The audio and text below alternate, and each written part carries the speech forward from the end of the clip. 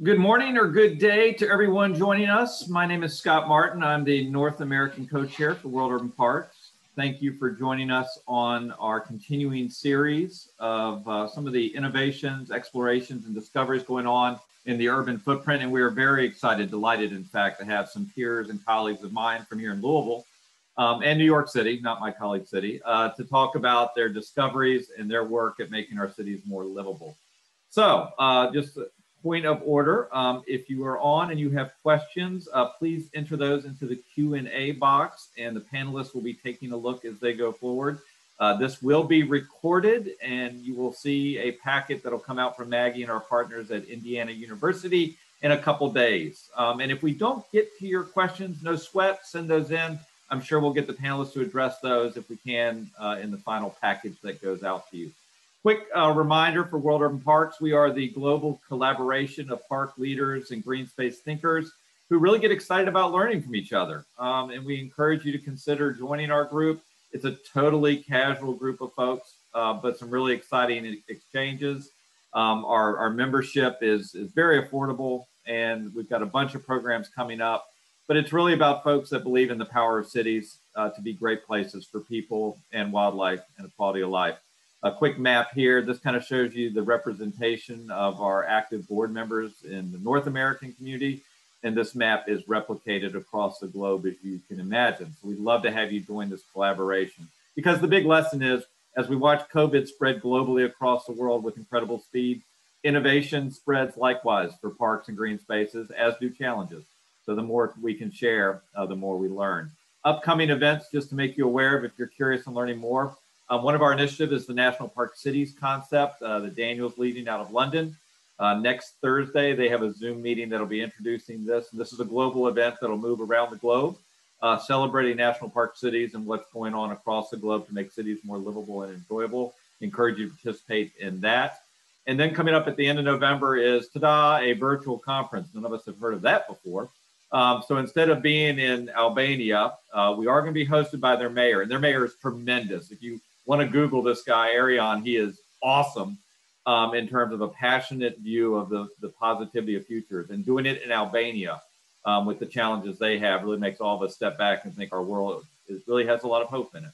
So November 20th through 27th. Um, I'll put these links in the chat box during the speech, during the talk as well.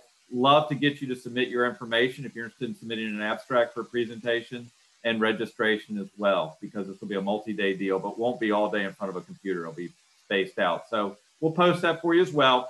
And then in our series of webinars coming up next will be Parks for All presentation by our friends CJ and Dawn from up in Canada. Uh, that'll be on November 12th. We'll get that information out to you as well to kind of see how our Canadian friends up north uh, do this thing called collaborative and systemic urban space and park planning particular attention and exciting to me up there is how they've engaged the First Nations um, and the indigenous communities into that dialogue as well. So another interesting presentation. There's the links. I'll put all of it up there. You guys didn't come to hear me. You came to hear these brilliant, smart researchers. So with that, it is my pleasure to introduce Ted Smith. I'll save the bio except to say Ted appreciates good coffee and good bourbon, which makes him a native Louisvillian by fault. Um, and Ted, I will stop sharing my screen and shut the heck up and let your brilliant team take it from here. Excellent. Thank you very much. Let me see if I can start sharing my screen and we can keep going here. Okay, are you able to see my screen and hear me? All good. All right, well, um, thank you so much uh, for the invitation to join this uh, great group today.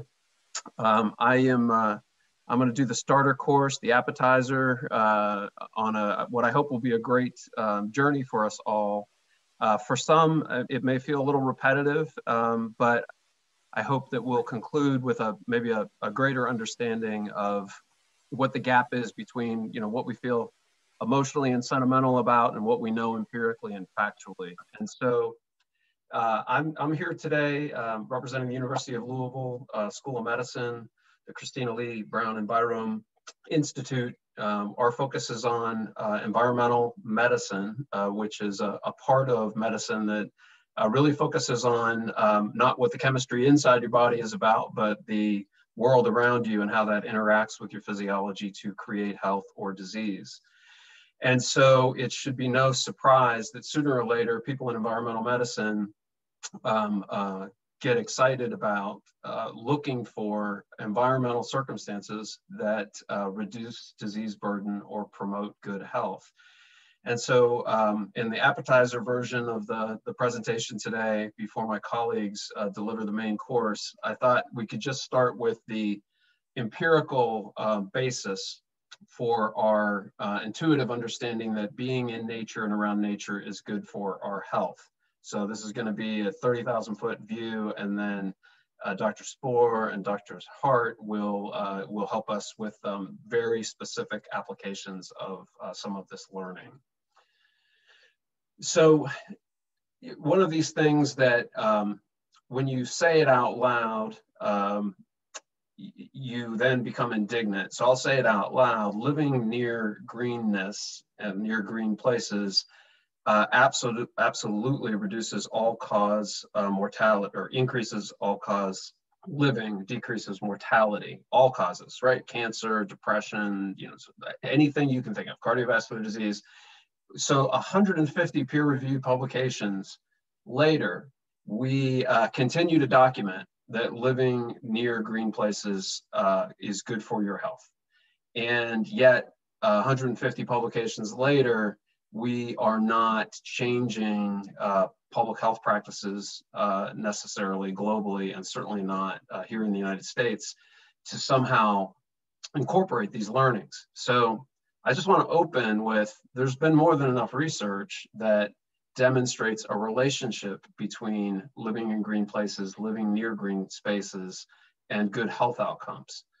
So let's just go through a little bit of why, um, why we think those associations exist, and then what it would take to actually deliver the kind of evidence uh, that I think will move public policy and even private health markets for, for that matter. So when we think about living near greenness, the research that I mentioned really does focus on proximity to greenness. And, and so not specifically any kind of greenness. Now there are lots of studies that, take parts and pieces of it, but in our sort of view of this uh, from a clinical perspective, you know, we can think about uh, nature, green places that are, you know, far away. So, you know, if you've got a mountain range visible out your window, that's great. You know, if you see a forest, you know, off in the distance, that's fantastic. There are health benefits to you by having nature visible, even at a distance. Uh, then you can think about uh, those environments that we create and curate, uh, like parks are a fantastic example, um, as are streetscapes and other uh, other places that, again, are uh, are not necessarily where you live, but are in your um, uh, in the environment that you move around. And so that social environment that we construct which we've, you know, in a rapidly urbanizing world, we've crowded with as much stuff as we can construct and left sometimes a little bit of room for nature. Um, when we're really intentional about it, that is a space that is important because as you bring nature closer than that mountain range or that forest, we get even more health benefit. And then the personal environment, you know, that like think about what might be in your backyard, think about plants in your house. Um, we know that uh, that has great benefit and so um, that's you know nearby nature you know in your personal environment so uh, for us as as researchers you know the, the fundamental finding is proximity to greenness at all scales confers some health value and um, that there is no particular uh, uh, range, if you will, that that matters sort of more than another at this point in time with our understanding. So we're really working, uh, you know, across the spectrum and in cities. And so uh, we'll, we'll, hear a little bit more from Dr. Hart about the specifics of a project that we're doing. Uh, and you'll hear from Dr. Spoer about how all cities you know, can be working with this information. So let's talk about what, what gets in the way of um, a definitive understanding of uh, this relationship. It's a correlation, and we all know that correlation uh, doesn't imply causation. And so then we have to sort of put on the table all sorts of things that could be that could explain this relationship. And so um, it is completely plausible that people who live near green spaces uh, are um, more physically active, right? They may go for walks because their environment is, is so conducive and pleasing. and uh, that, that encourages them to get out and about, right? And so it's a completely plausible uh, scenario, and I know the people in the parks uh, industry, uh, you know, know this well. That you know, uh, cities that have parks near where people live, you know, do uh, do get people out of their homes and and out out and about. So physical activity is uh, is a, certainly a, a real key to disease reduction. And so you can explain theoretically some of the health benefit of nature by its encouragement of physical activity. But then, of course, it competes with any other thing that you can think of that would make you physically active. So then there's a there's a, another dimension of the argument that is, um, well, these green places do uh, uh, confer um, a social benefit in that you know you may be more likely to go for a walk with someone or meet someone, for example, at a park, and um, there are real clinical benefits to social cohesion. And so that is one avenue of explaining, again, this all-cause mortality uh, improvement is, you know, perhaps it's, uh, you're getting, uh, it's encouraging another benefit, which is social cohesion. And again, there are other ways to uh, get social cohesion in someone's uh, life, right? We could have a community center where we have regular gatherings or whatever it may be. Doesn't need to be in nature. So that that's a, a trick in the interpretation. Then we can look at mental health. And um, you know there are plenty of studies that show um, good effects on behavioral health, um, reductions in anxiety, reductions in depression, and um, again, if you're looking at mortality, um, uh, behavioral health is a mediator. And so, you know, depressed people have a much higher um, uh, likelihood of earlier death than people that aren't depressed. And so uh, you can get into this um, mixture of, is it really, uh, is nature an antidepressant? And if nature is an antidepressant, again, we have to think about all the other ways that we can treat um, uh, behavioral health and nature may be one of them. So again, we have to keep thinking about all, all the dimensions here. We can talk about cognition, and there's more than enough evidence, correlational evidence that shows, you know, being in nature, around nature, um, improves cognition attention. And we know that, uh, you know, sort of metabolically in the brain, if we can keep the brain very active, uh, there's all sorts of um, uh, protective benefit there. So uh, again, I'll throw the, and there are other ways to get cognitive improvement that aren't in nature. So we have to, again, think about that. Okay, so stress reduction. So we know that people spend time in nature um, report lower stress, uh, not only immediately contemporaneously while they're in nature, but at later points in time after they've been uh, in nature. And so we know that stress is a, is a, a, a chronic disease risk uh, factor all the inflammatory diseases have problems uh, that can be exacerbated by risk, I'm sorry, by stress. And uh, so, and again, we can think about other ways of, of reducing stress that aren't nature. So I'm gonna give you the whole tour, so we'll get to our punchline here. Um, the interesting thing is uh, there's a whole line of research that, um, that essentially says, well, just looking at green spaces uh, reduces stress and um, there are certainly studies with synthetic nature, right? So the space program has been actively trying to figure out how you just give astronauts, you know, virtual reality experiences where they're in synthetic nature and some of the benefit can be achieved in synthetic nature. And so, um, you know, what is it about nature and stress? Is, is it something that is strictly a visual experience or is it something more uh, global? Uh, we know that some specific conditions that are, are, real disease burdens in the developed world, like asthma, um, are uh, in some ways um, improved by early childhood exposure to environments that are rich with biogenic material, like pollens and other microbes. And so um, we know that um, the burden of respiratory disease early in life uh, and throughout life is a real risk factor for many, many other um, chronic diseases. And so, you know, you could paint the picture that time in nature is really part of, um, uh, you know, reducing some other kind of chronic disease that ultimately complicates uh, your health. There's a broader field that I think many of us are familiar with, and, and it sort of comes under the heading of um, biophilia, that uh, E.O. Wilson and others made famous many years ago. and this idea that our physiology is co-evolved with a larger ecology. And so um, people who grow up in environments that are not biodiverse um, are more likely to have autoimmune uh, diseases. And um, when the immune function is failing, and I don't need to tell anybody that in the middle of a pandemic, when the immune function is failing, all sorts of other organ systems in the body um, are immediately compromised, and um, it really does decrease lifespan uh, to have an immune system that is uh, not optimally functioning. And so, if you think about what uh, our immune system requires, our immune system is anticipating uh, a training set early in life and throughout life, we are challenged by our environment and the, the various wide range of challenges that we're exposed to uh, create a resilient, we think of it as a high immune tone immune system.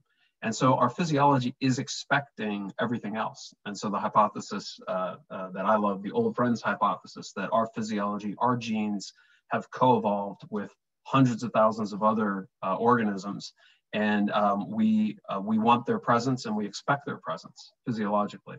And so um, when we think about uh, the benefits of nature, it's very difficult to ignore this very fundamental co-evolution. You know, this big crowd. So think of yourself as living in a terrarium. We think about all the things that you need to survive. You need a lot of other living organisms to uh, survive in a healthy fashion.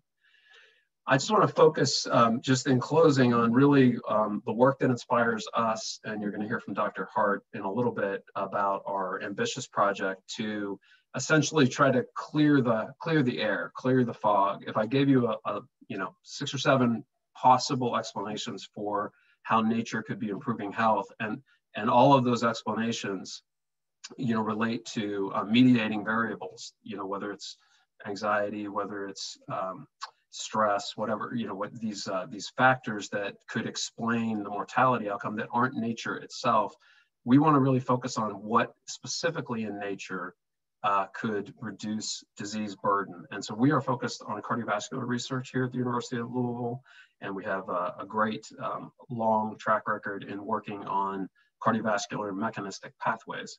And so when we look at cardiovascular disease specifically, uh, we see tremendous effects just on cardiovascular disease risk. And we see this at the country level, at the city level, at the census block level, and into the backyard of a person level. So we see cardiovascular protective benefit at all levels of proximity to greenness and of a significant effect size, right? One that you could say could compare um, to a pharmaceutical intervention. And this is going to be important for, for our work. Um, we, we have seen in a very clinical um, interpretation um, how spending time in nature has been restorative in a clinical sense. And so people who have suffered strokes have recovered faster and to a higher level when they have been in nature than when they haven't. And so we know we are administering some kind of medication, if you will, uh, for those folks who have suffered strokes. Well, we also know that, um, that, that there's a differential effect. And so that we know that for women, uh, there's a higher benefit statistically for time in nature. And we know that in pharmaceutical interventions, there are differences in uh, sex and effects of these medications. So we're starting to have something that's feeling like an intervention. The last thing that I think is interesting to note is if we just look at cardiovascular disease mortality and something very global, like the presence of um, the ash tree, we know that in certainly in North America, as the emerald ash borer moved south, that uh, as those trees left, uh, disease, cardiovascular disease um, incidence went up. And you know, for every year of uh, tree loss, you know, we see tremendous increases in cardiovascular disease um, mortality. And so that gives us a lot of pause that what we really are looking at is something that um, you know is either a, a, a, medication or some sort of prophylactic. And I will throw the whole model on the table and then I will tell you uh, where we ended up. But there are many physiological mechanisms in cardiovascular disease risk that um, a lot of nature nearby uh, could confer to you. And we've talked about some of them earlier in the talk, but what we're going to focus on in our work is air pollution. And the reason that we are uh, very focused on air pollution with our work uh, that Dr. Hart will share with you is um, we have a very good understanding from another couple hundred or thousand studies on air pollution and cardiovascular disease risk that if we can make small changes in exposure to air pollution, we can make big changes in uh, health outcomes.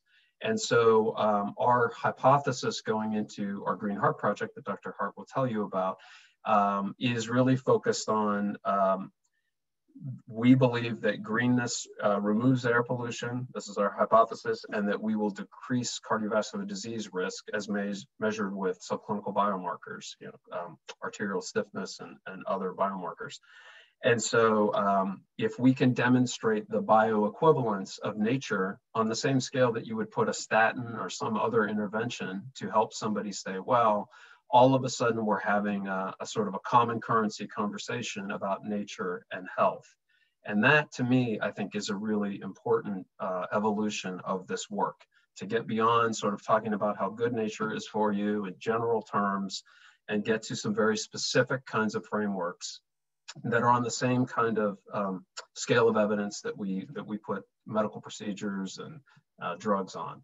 And so um, I'm going to wrap here. I just want to give you the, the teaser that, um, you know, instead of spending this whole presentation talking about what we're doing in Louisville, Kentucky, I'm delighted that uh, Dr. Spoer is going to be with us to uh, really help us see what those opportunities are across, uh, certainly across the United States in, in the work that he does. It's important to us that we can start thinking about and planning for green equity.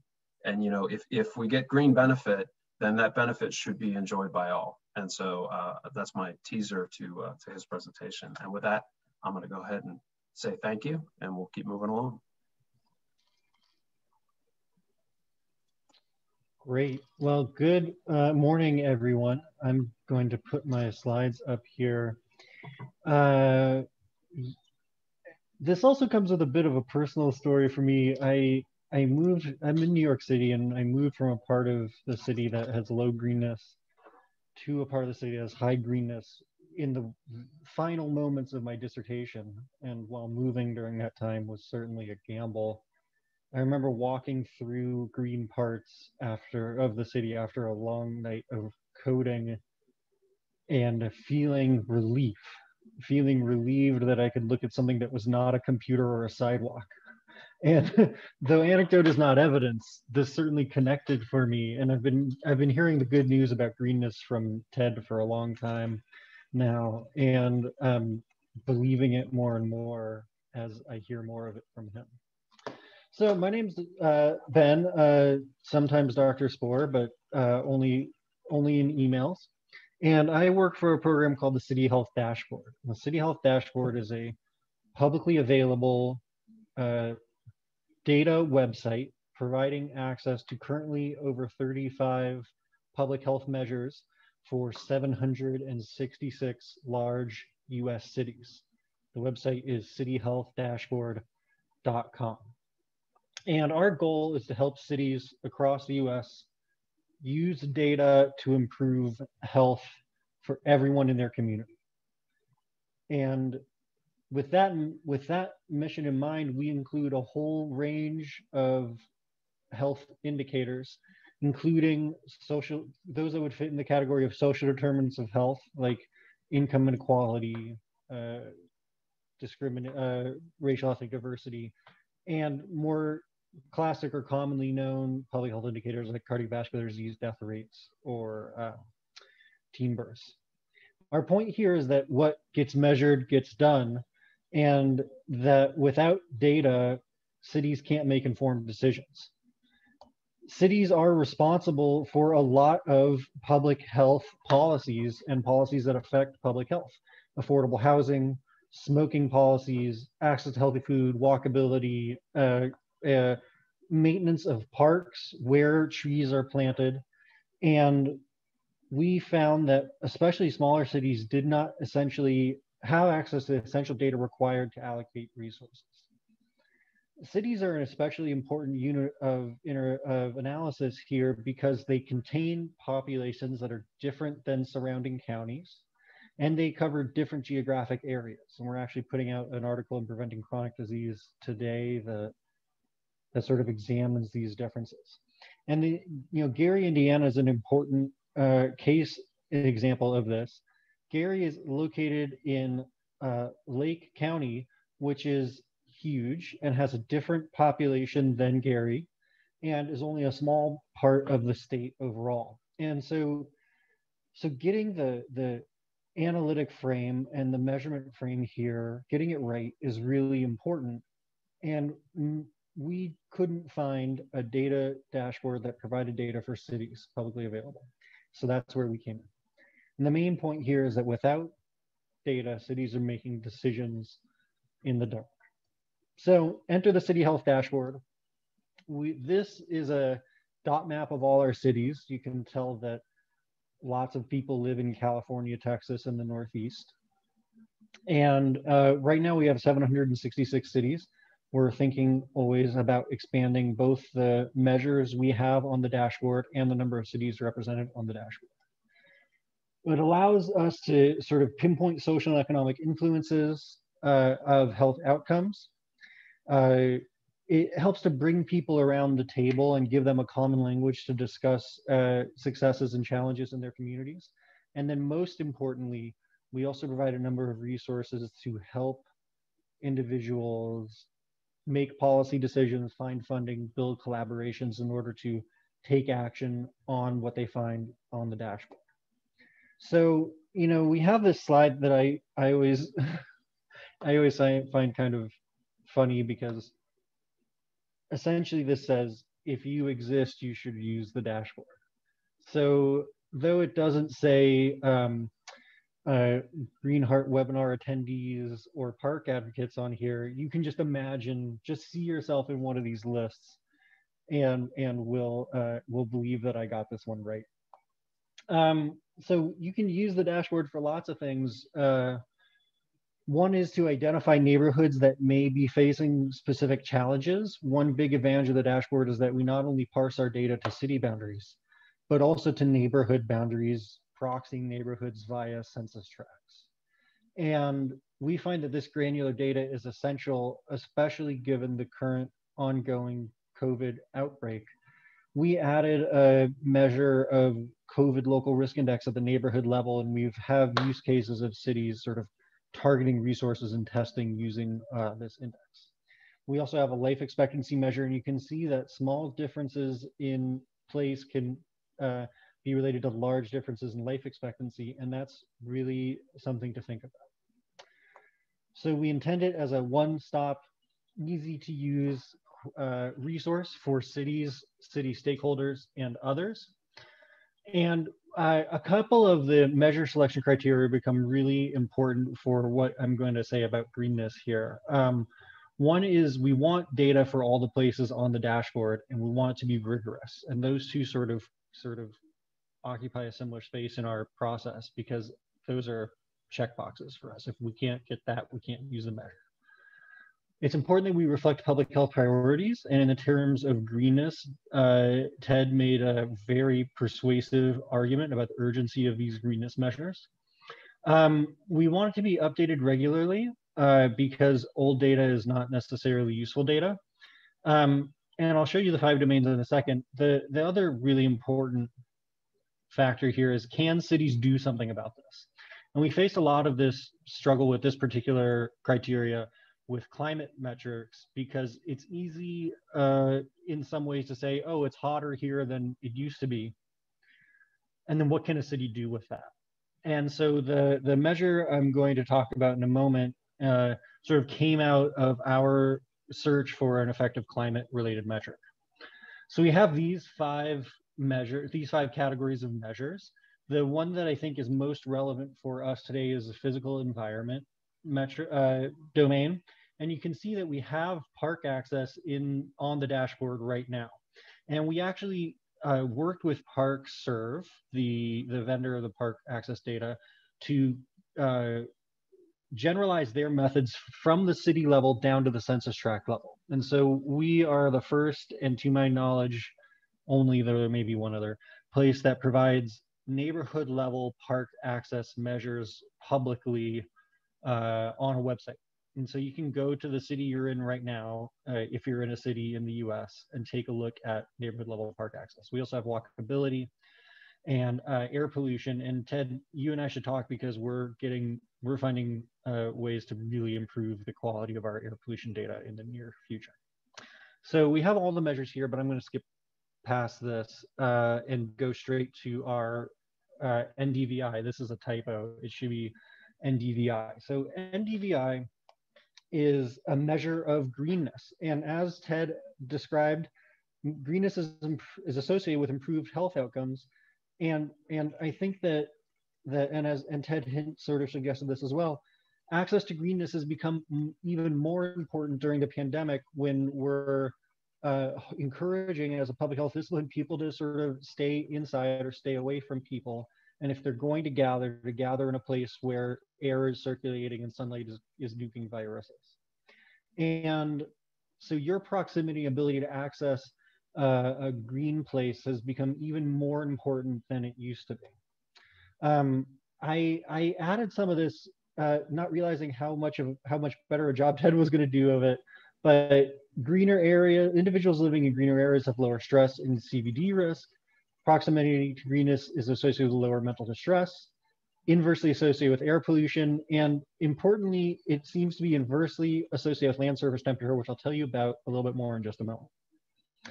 So, so the question becomes, how do we measure greenness if we want to provide some form of actionable and accessible measure at the city and neighborhood level of like, where are the plants? How, and how many plants are near me? So what we have here is normalized difference in vegetation index. And it sort of measures coverage of green plants and to an extent, health of those plants. And we get it from satellites. And as someone who generally gets data from survey instruments, getting a piece of data from a satellite makes me feel a little bit like a supervillain in a Bond movie. You know, I've got a little bit of a Doctor No thing going on. And so we just think it's the coolest thing. So our methods at NDVI, first there's a satellite. I should have done a black background here so you really got the like vast emptiness of space vibe from it. But this is the Landsat 8 satellite. And it uh, absorbs data in both the near infrared and red bands amongst very uh, many other uh, wavelengths of light. And the, those observations are fed into an algorithm that calculates uh, NDVI. And what it what it essentially does here, and and Ted, you probably know this better than I do, so please don't hesitate. And Joy, you probably know this better than I do, so don't hesitate to correct me here. But the way I understand it is that uh, plants absorb the wavelengths of light that help them to photosynthesize, and they then emit wavelengths of light, re-emit the wavelengths of light that uh, do not contribute to photosynthesis and just heat up the plants too much and cause damage to the plant tissues. And so these two bands of light are the near infrared band and the red band. And NDVI is the near infrared minus the red divided by the total. And it's, and it's converted into an index. And that index gives us a map of greenness parsed to the city and census tract level. So this is actually a slide. This is like a cartoon from that we got from NASA, and we've developed uh, NDVI measures for the dashboard in collaboration with NASA. And so they uh, can quantify how healthy a plant is based on how green uh, the, the light emitted by it may be. And so the NDVI metric uh, from negative one to zero is a dead plant and above uh, 0.66 to one is a pretty healthy plant with gradations in between. This is the granular information on the methods. We uh, and we what we have done is worked with NASA to develop NDVI measures for every city and census tract on the dashboard. And these are the methods we use to develop that uh, with NASA's assistance. They have provided us aggregated three-year estimates, and these estimates uh, are provided only for the summer months in which we expect to see peak greenness. And we did that so that we could have something that's comparable across years and places, and so that we weren't having our um, greenness measures artificially depressed by off-season uh, observations. Uh, we calculated the median of the LST across three-year periods, and you can see those three-year periods in the in top there. We have data from uh, 2015 to 2019, though there is some overlap in these data. And we take the mean of the medians, which is uh, some, you know, it's a fun phrase to say if you're into statistics, of the of the temporarily stacked pixels in a city to get city level averages, and the stacked pixels in the track to get a track level average so this is all to say, and we also removed um, clouds and uh, other atmospheric conditions. That's why we have so many observations to sort of sort of smooth over some of the atmospheric or weather effects.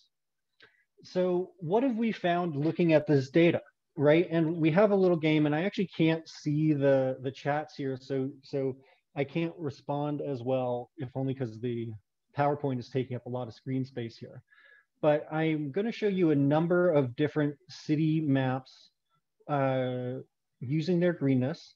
And I encourage you to see if you can identify the cities based just on their city boundaries. And these gray boxes are, are graying out the names of the places.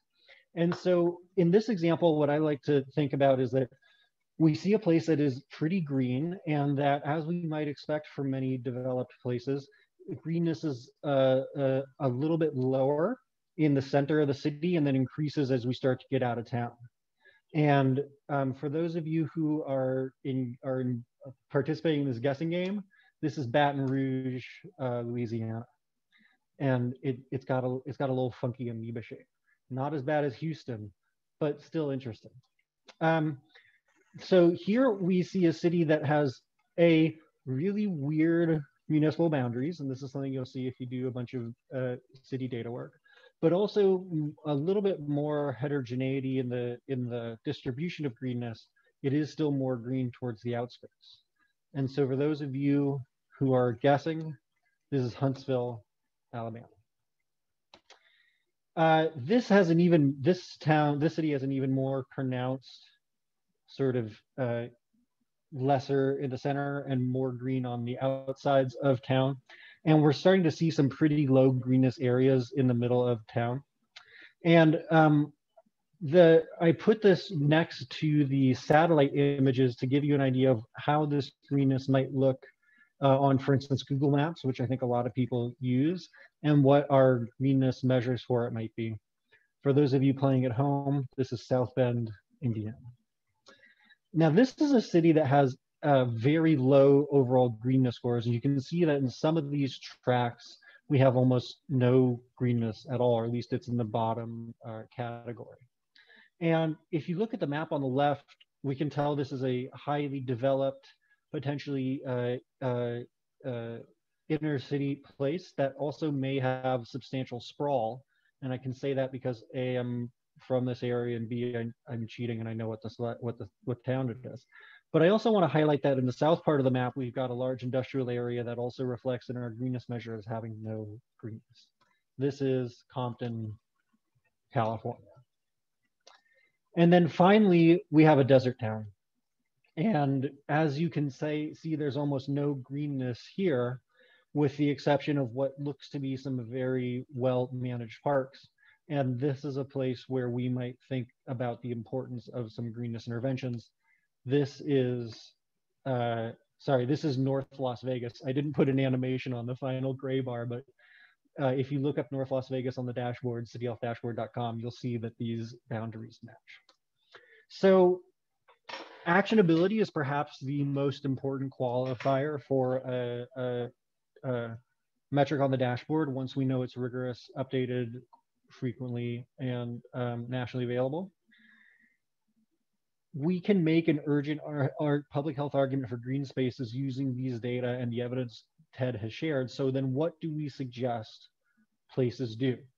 places can plant trees, they can maintain their green spaces, they can tear up some asphalt. And if we're going to think about land surface temperature, which I'm going to give you just one slide on, they can also target EMS response and cooling stations. And uh, this is uh, Louisville, Kentucky, which I understand is a place where people drink coffee and bourbon, hopefully at different times of day. And what you can see here is that in places where there's high greenness, there's low land surface temperature, and where there's low land surface temperature, there's high greenness. And so we got both of these data sets from NASA, and we're thinking about what is most useful for the dashboard. They are strongly inversely correlated, so they express similar information, but they capture different constructs, and we're sort of we're sort of working through that. So our next steps, we're waiting to validate the code from NASA, and we're working with them. They, as with all organizations, been slowed down by the pandemic. And we're hoping to release these metrics on the dashboard in early 2021. We probably won't do both. We're leaning towards greenness. More to come soon. And if you have any questions or thought about this, please don't hesitate to reach out to us at City Health Dashboard. And the website is cityhealthdashboard.com. You can get a lot of information there, including the ability to download most of our data if you want to use it for yourself. And with that, I'm going to pass it off to Joy. Joy, I believe you're going to give us a specific understanding of some like interventions and research that we're doing, that you're doing with this. Thanks, Ben. And I'm going to shift to sharing screen.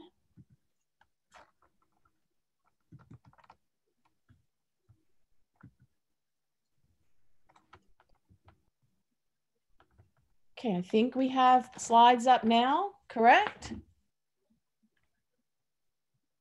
Yeah.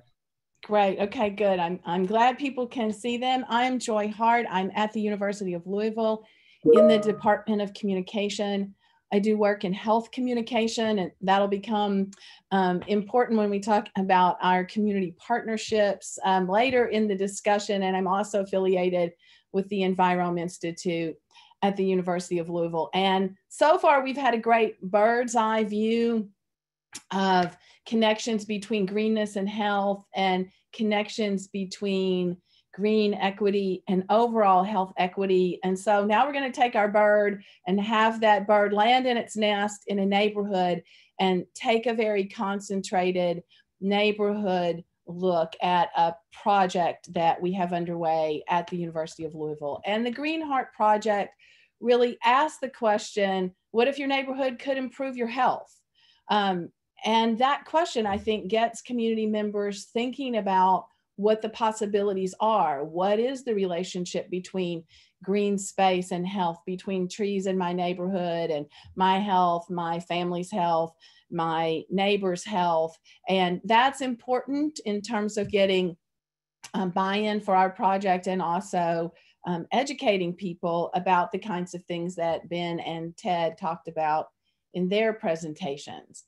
So as Ted previewed, the central hypothesis for the Green Heart study is that exposure to neighborhood greenness, so living in greener spaces, decreases one's risk for cardiovascular disease because of reduction in the level of air pollution.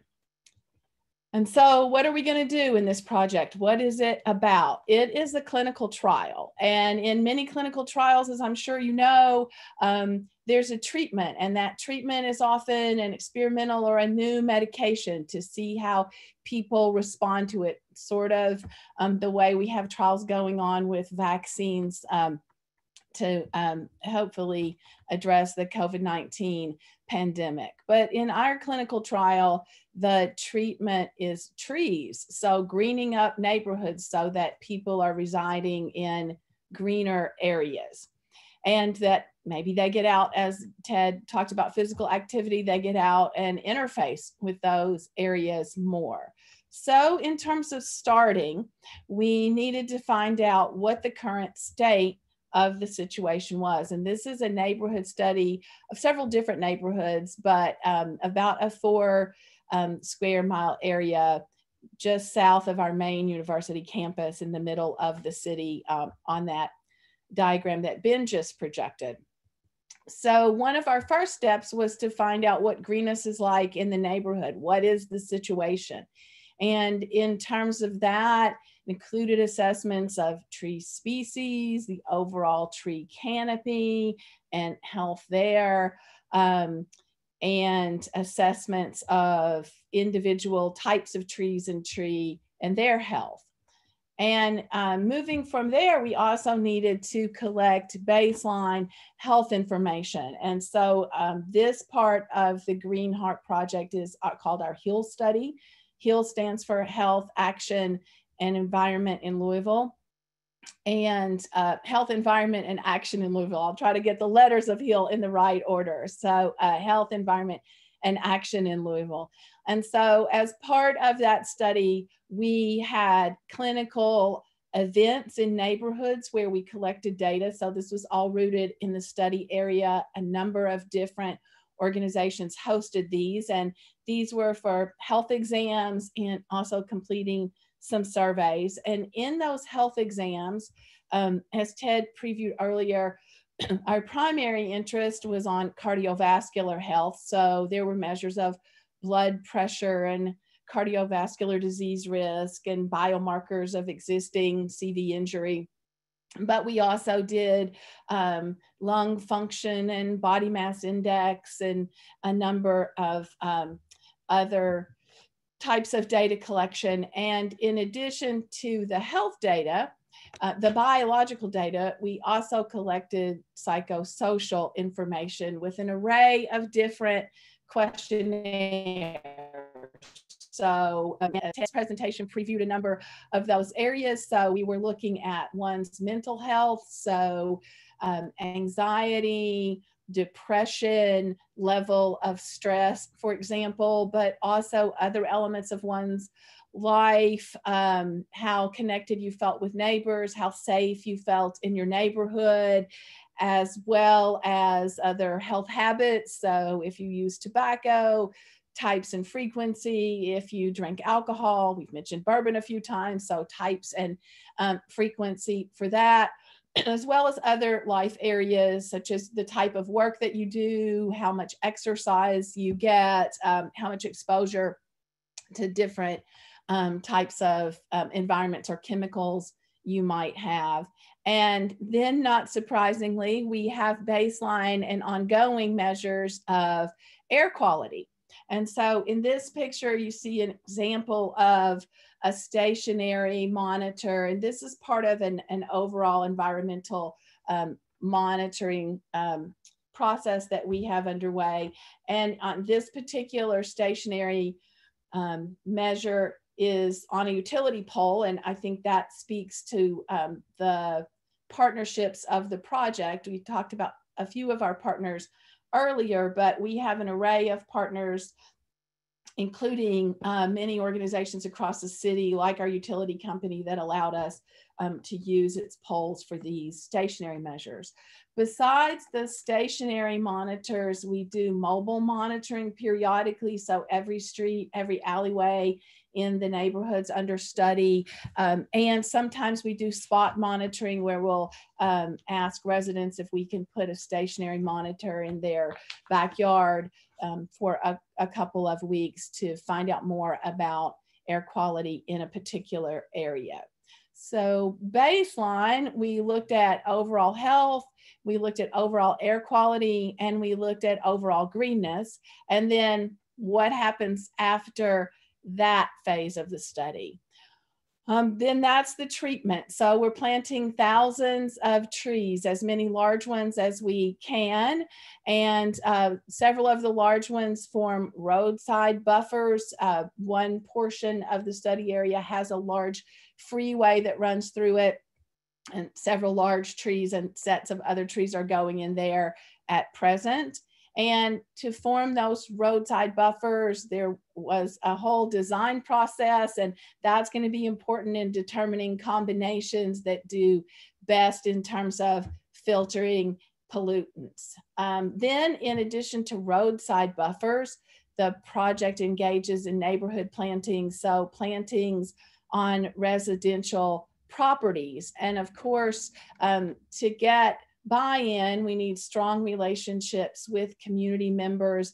We have a community advisory board that's been in place for quite a while that meets regularly, shares ideas, um, helps that information filter out into the community. We go to neighborhood association meetings. We do a variety of different health screenings and health education events in the community.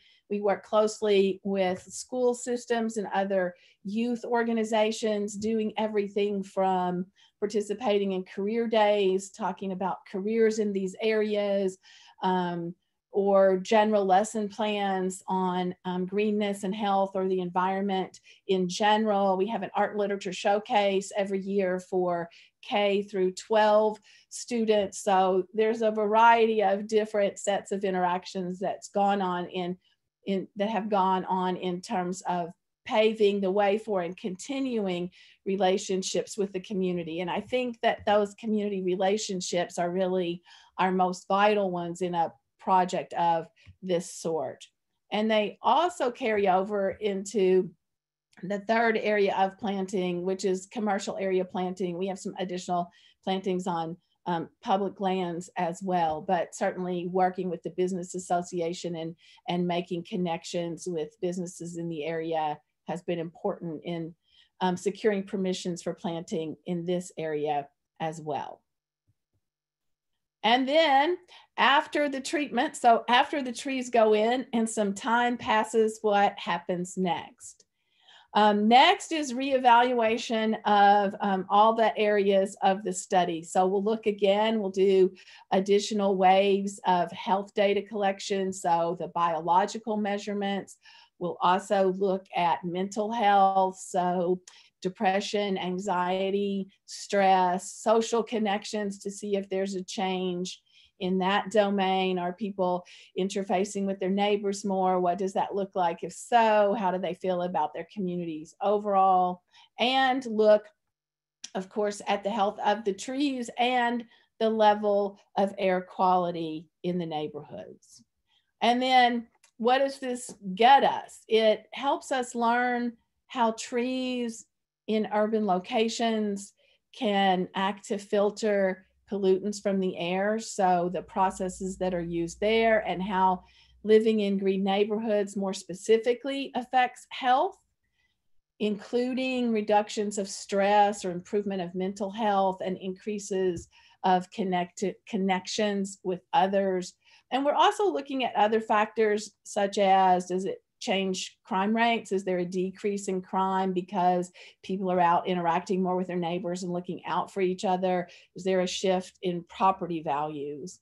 And then moving back out to a bit of a bird's eye view where Ted and Ben started in terms of the global impacts. What are the possibilities of this project? We think it can create a green print to use for um, shaping future cities. It can offer new ways of pre preventing heart disease, as well as new paths to decreasing air pollution in cities. And all of that information can be useful in setting guidelines or policies for city design. So it can help with future cities or um, shaping existing cities in that way. And um, we think this is a project that can contribute to other city development worldwide. And as Ted mentioned in his part of the presentation, this is a connection between the natural environment and shaping the social environment and our personal environment and the interface between all of those.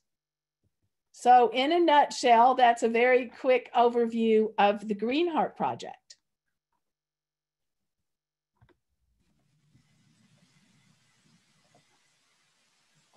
Well, I'll jump in. That was a great presentation. Um, we've we've carved out a little extra time for questions that we get, and I'm going to be so bold as to maybe merge some together. I know we have some folks here from drier climates, our desert communities, our high plains. We've talked a lot about it. It feels like the uh, eastern deciduous forest and our, our pretty green trees that do our pretty green stuff. We're spoiled back here. What's the insight? What's the lesson? Um, you know, kind of riff on what do you do if you're a desert city, if you're a Boise, if you're a Phoenix, Um, how does this all intersect? How are they greener when they're naturally brown? I'll take a shot at it. so, um, well, the easy thing is to move to Louisville. So, uh, if you're not willing to do that, then um, you know, I mean, the, the, truth of the matter is, we are just at the infancy of our understanding of um, all of these factors.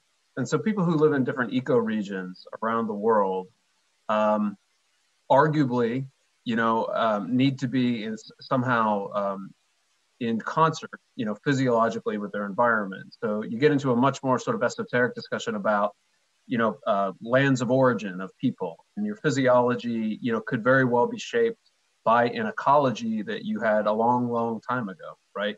And so it may it may be at the end of the day, when we're all done figuring this out, it may be that there are people that are absolutely healthiest in arid climates or absolutely healthiest on rocky shorelines. You know, I mean, this is, uh, I think we have to be prepared for um, this kind of much larger uh, relationship between people and, and uh, a natural ecology. All I can tell you is that there's been a lot of research done on greenness. There's been some research done on blueness, people who live near water. Um, but you know, we're we're focused on really getting to the bottom of a, a, a clinical understanding of nature so that we can, um, you know, sort of take it from the sidelines as a, as a cocktail party thing, as a, you know, a fun thing to talk about and, and try to really, if those are real, real health benefits, like, like a medication would have, then let's start taking it very seriously, like we do with uh, medications and other kinds of clinical interventions. So it's a long-winded answer. I mean, maybe we'll get to desert treatments at some point in time, but um, we're going to start with uh, greenness on our side. Ben, Joy, do you all have anything you want to follow up with on that? A question about tree survival. I know that's a big issue here in Louisville, but all of our legacy cities and across Europe as well. Um, maybe riff a little bit again. Uh, impacts, understandings of the value of a mature tree, a street tree as it would be, versus a juvenile or younger. Um, is there any information you can give that, that will redouble the efforts to protect our older canopy trees in an urban setting? Any insights you can share with our audience there?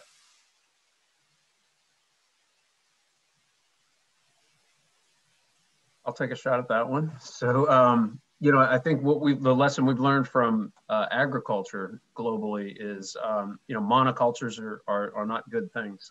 and so as we as we take this seriously, I think we have to think again in ecological terms, right? So it's it's not any one tree species, tree size, you know, bush, you know, whatever that um, you know it, it is likely like all things um, much more nuanced than that. So you know we we do think about plant communities, and if you think about plant communities, you know you have to accommodate uh, plants that are in different stages of life and you know how that all how that natural sustainable system functions um, you know we, we've done a, a, pretty lousy job in my opinion in a lot of cities you know essentially using nature as ornaments right and we, we talk a lot about lollipop trees in cities right if you line a street with you know trees that the utility companies like and everybody sort of finds in, uh, unoffensive you know, when we look at air pollution, we find those are the worst trees. I mean, you'd be better off not having lollipop trees on your streets because they actually trap air pollution at nose level in most cases. And so, um, you know, I, I, think we have to have a more fundamental respect for, you know, kind of how we're approaching nature, especially in cities, and, and really take principles of ecology, uh, you know, as they work out in the wilderness and, and really think about how they work in cities. We had a question both from Canada and then from Luis down in Mexico uh, for Latin America. Ben, is there NDVI data available for, for Latin America or for Canada that could be deployed? Because now you have park people totally dorking out on satellites. So, you know, this, this gets very exciting to us. Yeah. Um, so there, you guys are not the only people totally dorking out on satellites. I'm with you on the enthusiasm my project does not currently have NDVI data for places outside of the cities on the dashboard. However, there's there's not um, a, a legal reason that I'm aware of that people cannot calculate NDVI for the places they're interested in. The um, the methods, the, the resource used to calculate NDVI is Google Earth Engine, which recently became publicly available the limitations there are that you you need to know somebody who has the programming skills in Google Earth Engine, and also that it's a truly massive amount of data that takes time and patience to calculate. And so um, I think the components of these data sets are available, and there is a data access barrier that um, is sort of a, a different but related question, which is how do we, uh, to borrow a phrase, liberate the data so that people can use it in Canada and Latin America and wherever else they may want to make an argument for green spaces. Great, that's helpful. Interesting question. Um, we haven't talked about critters and, and, the impact of critters on our well-being, um, but also maybe some of the conflict that comes into green spaces in cities and maybe some of the undesirable critters have. Have, you guys explored any of the wildlife implications? Or even better, does being, we, we know that this is a setup, so swing away, softball. Seeing wildlife makes our lives better. Is I'll just say that we believe that. Um, have you uncovered any data that has proven that true? And have you had kind of gotten into that wildlife controversy thing in the urban setting at all? Well, one of the ancillary studies we have for the Green Heart Project is um, a biodiversity audit. And every uh, summer, uh, uh, we have some graduate students from Murray State University who show up and they do a full survey at, I want to say, 80 locations across four neighborhoods uh, where they are looking at bugs, birds, and bats. And um, it's, a, it's a classic biodiversity audit. And um, while it doesn't directly answer the question, how much do we like to see uh, critters, as you so colloquially say, um, it definitely will help us get a little closer to, you know, is it more than the plants that we're planting? And, um, you know, I, for one, imagine that it is about more than that. And, you know, I, am as I'm as interested as the next person in, you know, whether the wildlife we you know, encourage to, uh, you know, live with us in cities is going to be welcome in all cases. But I do think, you know, if, if we don't have an understanding of that interdependence, I mean, it's it, it's as bad as monoculture. Like if we just look at plants and we say it's all about the plants, then we're missing it again, right? And so I think we're going to have to get a little more comfortable with a little bit more wildlife in cities than people um, maybe are used to thinking about. And I think specifically in the Green Heart neighborhoods, we don't yet know what the community members are going to think about um, some of the wildlife that may return with more trees, but they have been very interested in um, looking at the bugs and the birds and the bats in those biodiversity studies. Um, so it, it seems like people are interested and excited about possibilities there. Of course, we all know that people tend to gravitate toward cute critters um, and may be less attracted to things like earthworms if they don't find those cute or people have a different view I, I love bats but people have different views on their comfort level with bats so maybe we're going to learn more about that with the interface of the project over time as well Hey, Joy, I want to stick with you for a second because this is an area we're circling around, but the, the issue of gentrification has been raised.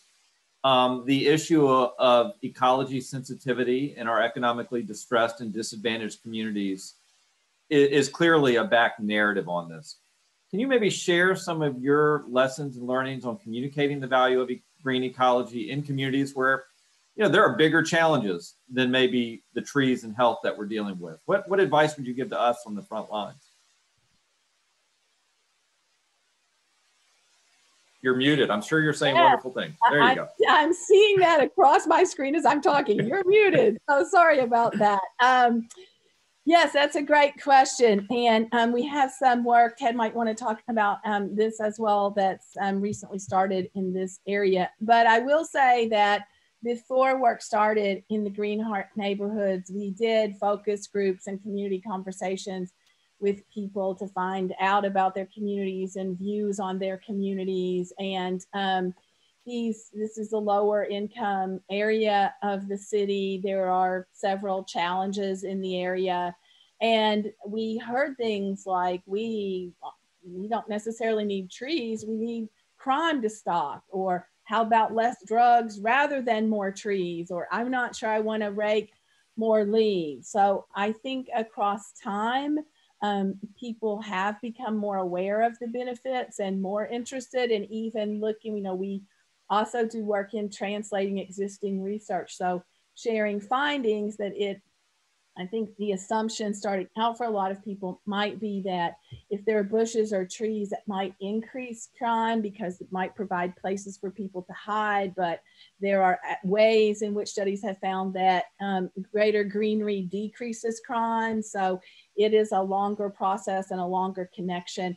Another thing that we've tried um, to do and to share with people is um, that we have funding for a particular project, but we are open to working on other projects and helping secure resources there. So we have tried to build partnerships and help the community secure support for other areas of concern also. I'll, I'll um, just, I'll, I'd love to throw in the one point. It is a clinical trial, as Joy said. And um, one of the important things to know about a longitudinal clinical trial is you need people to stay in the area for, for the research to work. And so owner occupancy is an important variable in the neighborhoods we pick. And so you brought up the word gentrification. Gentrification, I think most of us understand, is most problematic in very, very high rental areas where people can be easily displaced as neighborhoods are improved.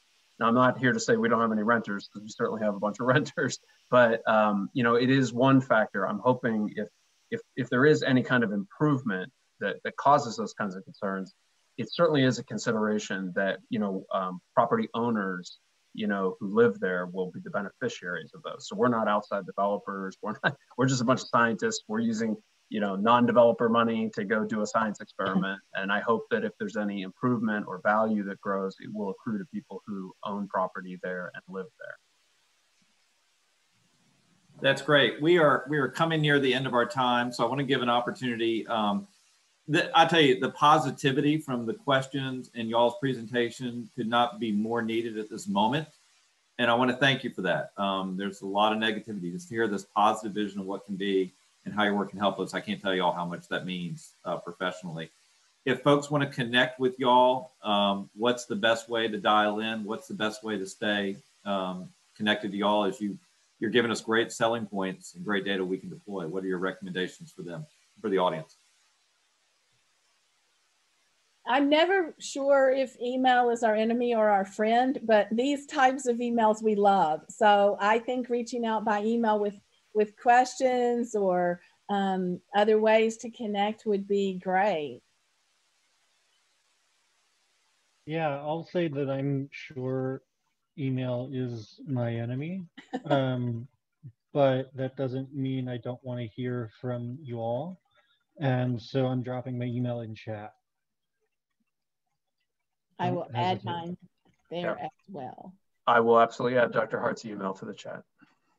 No, you can write to me too. That's right. Well, Ben, you're in trouble because your narrative, your your story of moving to a greener part of New York City is now going to become um, a story repeated throughout our community. So you're now you're screwed. Um, you're yeah. in. I mean, there there are worse reasons to hear from people. I'm okay with this. Well, I want to thank everybody for your time. Um, this has been wonderful. And thank you everyone that attended and tuned in. Uh, really appreciate that. We'll get the uh, reading list out to you because we're all dorks and we like books um, and maybe a music list just to show what we do in quarantine uh, here as well. So thank all of you for your time um, and stay tuned for that email follow up and appreciate our speakers again. Many thanks. Thanks Thank everyone. You. Thank you. Thanks so much. Bye-bye. Bye.